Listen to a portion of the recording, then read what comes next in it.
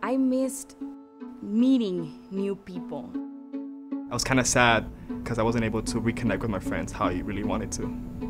I've missed seeing the students. But I've missed fans more than anything, and I can't wait for them to return. Face to face.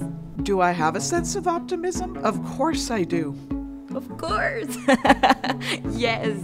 We're safe, we're open, and we cannot wait to have you back.